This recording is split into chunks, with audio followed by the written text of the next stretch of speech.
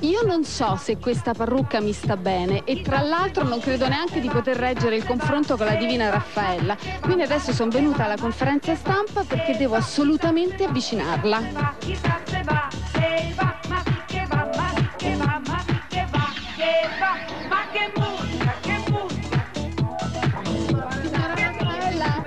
Signora Raffaella, Italia naturalmente. signora Raffaella, Raffaella. Raffaella, Certo. Un saluto. Un saluto. Raffaella.